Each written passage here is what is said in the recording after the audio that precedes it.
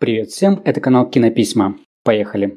Сегодня состоялись похороны писателя, которые прошли в строжайшей секретности и в присутствии только близких родственников. Из-за пандемии коронавируса устроить прощание с Михаилом Жванецким не удалось бы, да и родные артисты были резко против того, чтобы на этом траурном мероприятии присутствовали журналисты и даже поклонники творчества Жванецкого. Михаила Жванецкого похоронили на Новодевичьем кладбище. К слову, место погребения писатель также хранилось в секрете до сегодняшнего дня. На время похорон вход на кладбище будет временно перекрыт, чтобы на похороны не попали посторонние. Провожают последний путь Жванецкого только его родственники и самые близкие друзья. Около кладбища дежурят военные, которые следят за порядком. Известно, что поминки пройдут в одном из ресторанов Москвы, который так любил Михаил Жванецкий. Чтобы быть в курсе новостей, подписывайтесь на канал, нажимайте на колокольчик.